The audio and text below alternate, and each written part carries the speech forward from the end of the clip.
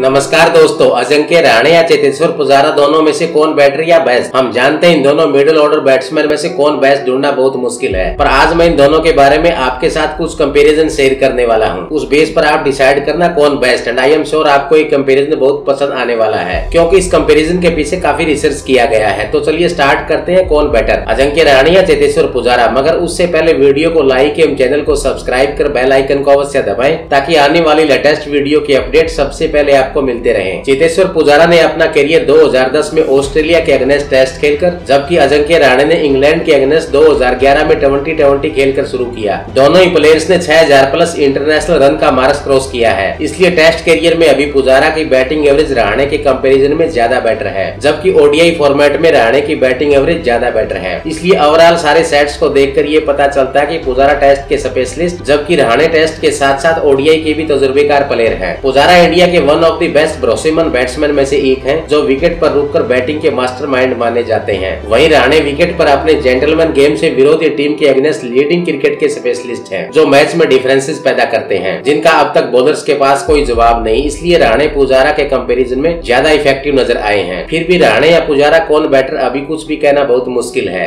अब बात करते हैं दोनों के करियर को लेकर पुजारा इंडिया के लिए दो दस से जबकि राणे हजार ग्यारह से राहुल द्रविड़ और वीवीएस लक्ष्मण के रिप्लेसमेंट के तौर पर और कंटिन्यूस टीम का हिस्सा रहे हैं भले ही दोनों बेहतरीन बैट्समैन है मगर दोनों का प्लेइंग स्टाइल बिल्कुल अलग है पुजारा अपने टेक्निकल गेम के लिए जाने जाते हैं वही दूसरी और रहने अपने नेचुरल क्रिकेट के लिए जाने जाते हैं सो दोस्तों question is that who is better as a batsman दोनों ही प्लेयर्स के दम पर इंडियन टीम ने कई सारे मैच उनकी बैटिंग की बदौलत जीते हैं मगर बैटर फील्डिंग की बदौलत पुजारा ने टेस्ट में जहाँ सत्तावन इंटरनेशनल कैच पकड़े हैं वही रहाणे तीनों फॉर्मेट में 225 इंटरनेशनल कैच के साथ पुजारा से कहीं ज्यादा आगे निकल जाते हैं अगर अवार्ड्स की बात की जाए तो चेतेश्वर पुजारा को 2013 में उनकी आउटस्टैंडिंग परफॉर्मेंस के लिए emerging cricket of the year एम 2017 में अर्जुन अवार्ड से सम्मानित किया गया जबकि अजंक्य रहाणे को 2014 में CEAT international cricket of the year एम 2016 में अर्जुन अवार्ड से सम्मानित किया गया इस प्रकार राणे पुजारा के कम्पेरिजन में ज्यादा बेटर नजर आ रहे हैं हम बस उम्मीद कर सकते हैं की पुजारा राणे के इस छोटे ऐसी अवार्ड डिफरेंस को बीट कर सके पर तब तक के लिए राणे ज्यादा सक्सेसफुल प्लेयर नजर आ रहे हैं अब बात करते हैं दोनों प्लेयर्स की नेटवर्थ को लेकर तो दोनों ही प्लेयर्स ने अपनी मैच फीस से काफी कमाया है साथ ही दोनों को ब्रांड एंडोर्समेंट डील्स और आईपीएल से बहुत बड़ा हिस्सा मिलता है